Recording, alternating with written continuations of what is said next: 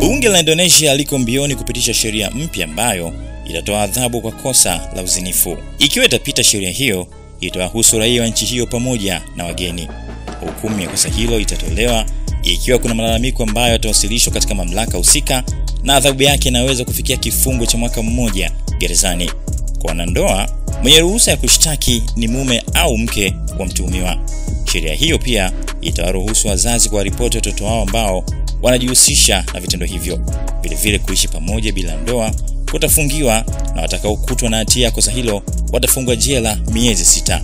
Makundi ya wafanyabiashara yameonyesha wasiwasi juu ya maafa yatakayoikumba sekta ya utalii kutokana na sheria hiyo, huku wanaharakati na wanafunzi wakiandamana kupinga sheria hiyo. Indonesia ni moja kati ya nchi ambazo zina sheria kali za kimaadili. Takriban asilimia 86.7 ya wananchi wake ni waumini wa dini ya Kiislamu. Sasa ninawaza kibongobongo tu huku itakapokuwa imetokea eh? Maanake imekuwa ni kawaida watu wakaishi bila ndoa, imekuwa ni kawaida watu kufanya vitendo vya ngono, tena wengine hata hawafahamiani, wamekutana tu, naitwa ngoma isambe hiyo. Sasa huona mtazamo gani kuhusiana na hiki? Hebu tupe mtazamo wako hapo chini, na sisi pia utatufikia.